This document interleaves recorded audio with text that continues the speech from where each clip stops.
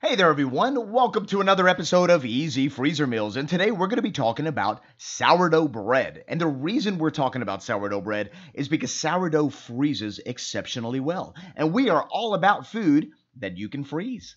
So, guess what you need to make sourdough bread? Well, you need a sourdough starter. And I'll put a link in the, in the description box below where you can get a sourdough starter, but making one is incredibly easy and maybe we'll cover that in a different video. I pulled my sourdough starter out of the refrigerator and we need to feed it so that we can get it active and ready for this bread that we're about to make. And normally I usually bring it out the day before, but I'm going to weigh that starter and it, it weighs 442 grams. And I'm just going to add that same amount of weight in flour and in water.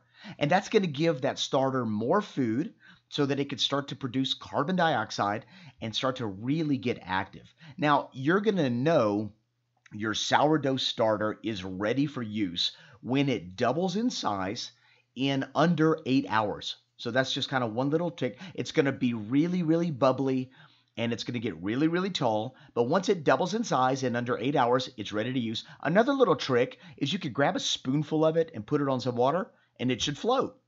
Now you want to use your sourdough starter when it's at its absolute peak. So if you've noticed that it's fallen, we'll feed it one more time. Remember, equal parts water and flour. And then when it rises all the way to the top again, go ahead and use it for this recipe. I've got a recipe posted below. It's very simple. And uh, this particular method of making sourdough is just one that I've kind of adapted over the years.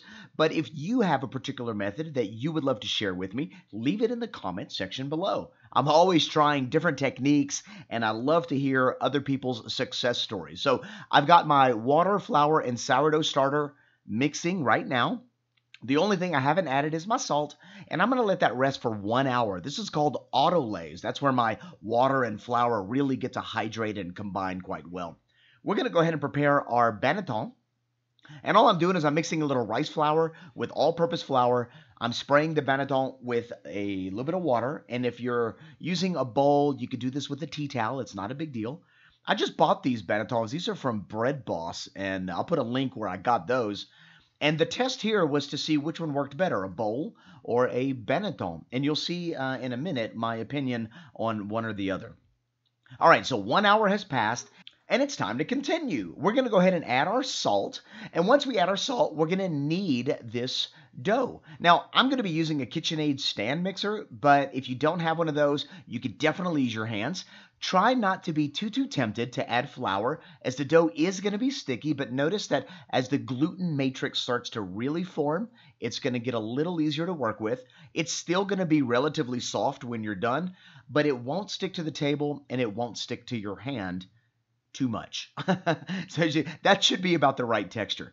Adding too much flour changes the balance of everything, and the possible fate of humanity rests in your hands. So you definitely don't want to be a part of that all I'm doing right now is I'm forming this loaf into a small, smooth little bowl so I could put it right back into that bowl and uh, cover it with some cling film. This particular step is going to allow the gluten matrix to relax so that when we go to the next step, it'll be a little bit easier to work with. So that's one hour later. We're now going to do something called the fold. It's like we're at chapter three in sourdough making. I love it. And so all we're going to do is we're going to stretch out our dough a little bit. Oh, look at that. It resembles the earth. How funny.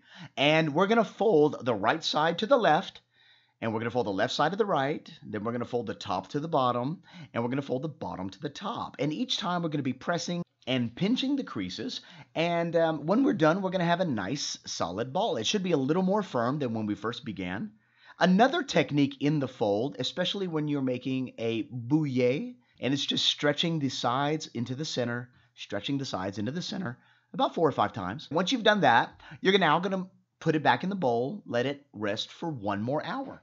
And at this point, we're about to preform our balls. And I know that you have been patiently waiting for this step. This is almost the very end of it. It's very exciting. So just go ahead and split this dough into two. I'm actually making a whole bunch of different loaves today. And notice I'm going to be doing that same folding technique, especially for the boule. If you're doing a loaf, well, that's going to be a different technique. But for this particular uh, shape, we're just going to be folding those edges into the middle and then rounding it off so that we have a nice round ball. Every time we do this, the ball is going to really firm up and that gluten structure is going to hold its shape. And so, if you've ever wondered why when you bake bread it falls, it's because the gluten structure isn't solid enough. And so now we're going to go ahead and form our boule or our ball. And so one last time, I'm going to go ahead and pull from the outside corners to the center. And what that's going to be doing is that's going to be tightening the outer part of this particular ball. And then I'm going to flip it over. And what I'll do is I'll slow it way down so that you can see what I'm talking about. So I'm pinching all the all the creases and with both of my hands, pressure on the table, no flour underneath it, I'm going to be pulling the ball towards me. And what that's going to do is that's going to create surface tension on the skin of the sourdough loaf. And that's what's going to allow it to maintain its form when it rises and it gets really nice and really big. And so you're going to do that roughly about five or six times, making sure that you cover every angle. So turn it 90 degrees and do it again. And then very gently, you're going to want to place it with the rough side facing up. So the bottom of the bread is going to be facing up, and you're going to leave it on your counter. Now, here's where it gets tricky.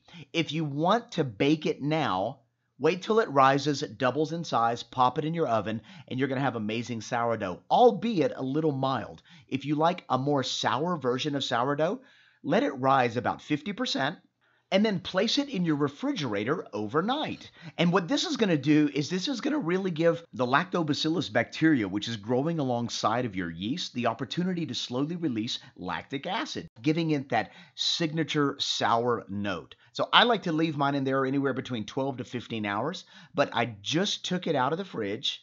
That's what it looks like. I've got about five loaves I'm going to do and you'll see some of the other ones in a minute. And while it's uh, rising at room temperature, that normally takes about two to three hours. I'm going to boil some water on the stovetop in a cast iron skillet. And I'm going to take that cast iron skillet and I'm going to put it in my oven so that it can create a nice humid environment when I bake my sourdough loaves.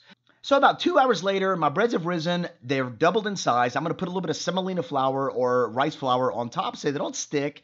And this is what it's going to look like when I pop it out of my banneton. Now, I noticed that the wicker banneton uh, rose a little bit faster and was a little bit more even. And I actually like the way it worked. Matter of fact, since producing this video, I've ordered two more. This is the one that I did in a stainless steel bowl. And I think because the stainless steel bowl was so cold coming out of the fridge, it actually took a little bit longer to rise, but nonetheless, it also rose.